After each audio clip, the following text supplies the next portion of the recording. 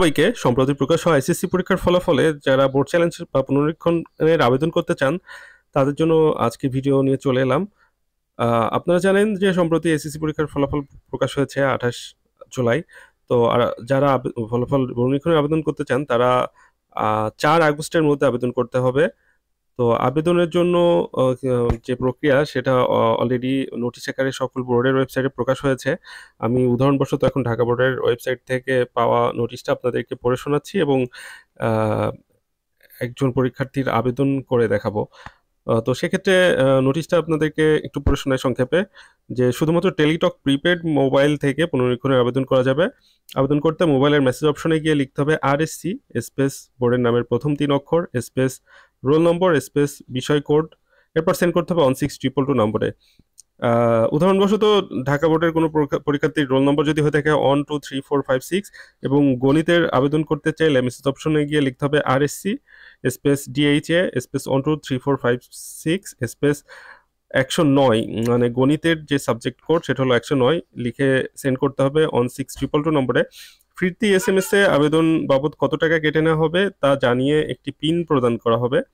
এতে সম্মত থাকলে মেসেজ অপশনে গিয়ে আর স্পেস ইয়েস স্পেস যে পিন নাম্বারটা আপনাকে দেওয়া হয়েছিল, সেই পিন নাম্বার স্পেস আপনার ব্যক্তিগত যে কন্ট্যাক্ট নাম্বার, সেটা লিখবেন, লিখে আপনি হচ্ছে সেন্ড করবেন সেই একই number one six triple two এই নম্বরে।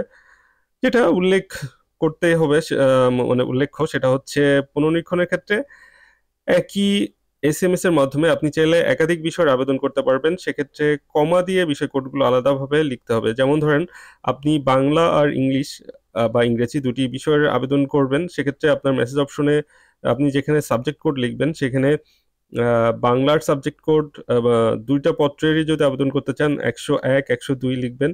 এরপরে ইংলিশের ক্ষেত্রেও দুইটা পত্রের সাবজেক্ট কোড একশো সাত, একশো আট এভাবে লিখবেন। আর, এবং প্রতিটা পত্র, অর্থাৎ ফার্স্ট পেপার এবং সেকেন্ড পেপার প্রতিটা পেপারের জন্য একশো পঁচিশ টাকা করে আপনার ফি কাটা হবে। এবং এই ফির সাথে আপনার এস এম এস চার্জও কিছু টাকা কেটে নেয়। তো আপনাদেরকে এখন প্র্যাকটিক্যালি একটা আবেদন করে দেখাই। আমি এখন তিনটা সাবজেক্টের জন্য আবেদন করব। তার জন্য অলরেডি আমি রিচার্জ করে রেখেছি আমার টেলিটকে তিনশো পঁচাশি টাকা, তিনশো পঁচাত্তর কাটার কথা সাথে দেখা গেল এর জন্য কিছু টাকা চার্জ কাটতে পারে।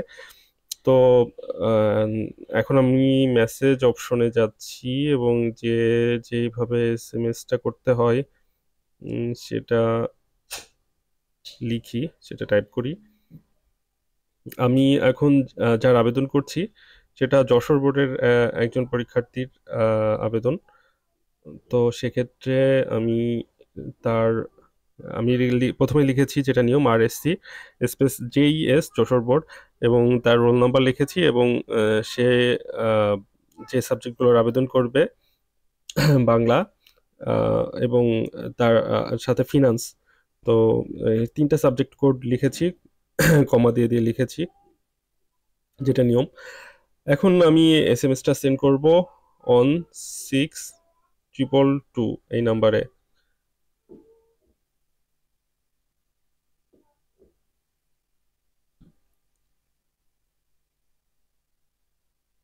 আমি এস এম এস করেছি, দেখতে পাচ্ছেন, এখনই রিপ্লাই আসবে।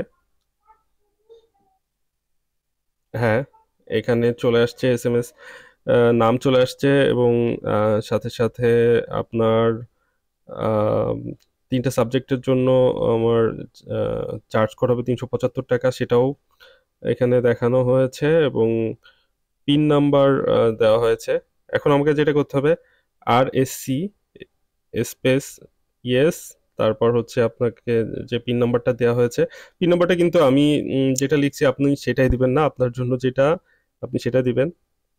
অনেকে এরকম ভুল করে থাকে ভিডিও দেখে আমি যেটা ইউজ করছি দেখা গেল সেটাই দিয়ে দিতে পারে। তো সেক্ষেত্রে কিন্তু আপনার যে পিন নাম্বারটা দেওয়া হয়েছে সেটা এখানে লিখবেন এবং আপনার ফোন নাম্বারটা দিয়ে দিবেন। আচ্ছা এখানে আমি জাস্ট মেসেজটা এডিট করেই দিয়ে দিয়ে দিচ্ছি। হ্যাঁ আর এস সি ইয়েস আপনার ইয়ে যে পিন নাম্বারটা দেওয়া হয়েছে, এরপর আপনার ফোন নাম্বারটা। আচ্ছা এতটুকুই কিন্তু, আমি জাস্ট এস এম এসটা এডিট করে এখানে নিয়ে এসেছিলাম, এজন্য কিছুটা এক্সট্রা অংশ ছিল, সেটা আমি ডিলিট করে দিয়েছি, হয়তো বুঝবেন আপনারা। তো এখন ফাইনালি আমাদেরকে এই এস এম এসটা সেন্ড করে দিতে হবে। দিলে আপনার ফোন থেকে ব্যালেন্স কেটে নিবে এবং আবেদন সফলভাবে আবেদন কমপ্লিট হয়ে যাবে। দেখি আমরা ফিরতি এস এম এসটা দেখি। আমরা দেখতে পাচ্ছি যে আমাদের যশোর বোর্ডের এই রোল নাম্বারের তিনটা সাবজেক্টের জন্য আবেদন কমপ্লিট হয়েছে এবং একটা ট্র্যাকিং আইডি দেওয়া হয়েছে। এই আইডিটা খুব একটা কাজের কিছু না। যখন রেজাল্ট দেওয়া হবে, আপনার রোল নাম্বার দিয়ে আপনি রেজাল্ট দেখতে পারবেন। এখন দেখি কত টাকা চার্জ করেছে।